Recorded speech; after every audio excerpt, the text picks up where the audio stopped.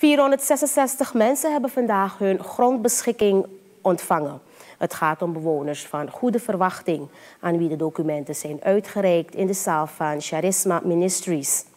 Minister Dinota Forswijk van Grondbeleid en Bosbeheer zegt dat het een van haar missies is om de grondpapieren voor de mensen in dit gebied in orde te maken. Goede verwachting, Sapurus Masabi Boiti. Goede verwachting, die alles Masabitak na kraak des majaso kraak akauwi. Goede verwachting, be u alamala saptak, toko toko, unobe ap faya, unobe ap watra, usome yari. Goede verwachting pe tak verschillende blokken de en net enkele blokken of enkele smabekjes naar vorige regering de bereidsverklaring. Goede verwachting pe mi dino tak Forswijk grofmotto. Goede verwachting halmi universiteitsdiploma. En today, mi snap ja so nolik a minister voor GBV.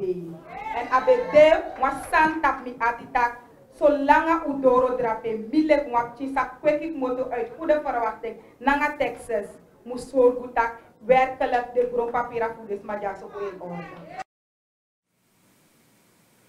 Forswijk zegt dat zij de nodige ondersteuning heeft gekregen van haar staf, de samenleving en de vicepresident. Waarnemend president Ronnie Brunswijk zegt dat hiermee zijn belofte voor de verkiezingen waargemaakt is.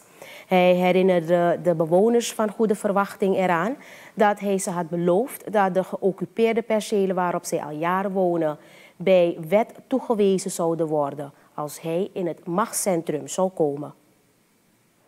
tasan yu ko lofta go do en tide a anset do bika e ko fir honde sesa sesta sama e fene jan pampia tide pe ya bi sekere en tide ya sekere ta go ya o ko tinya do mo ba.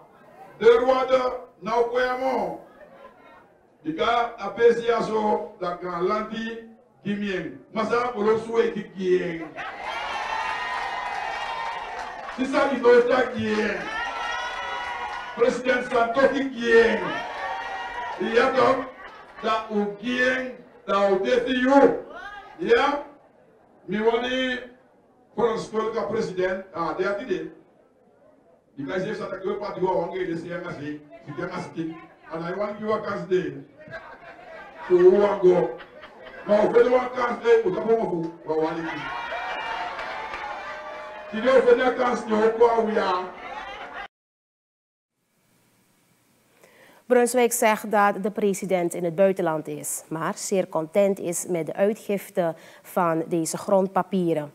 Het staatshoofd is volgens hem ook voorstander geweest om de mensen van goede verwachting te helpen aan hun grondbeschikkingen, zodat zij niet meer onzeker hoeven te zijn over het stukje land waarop zij wonen.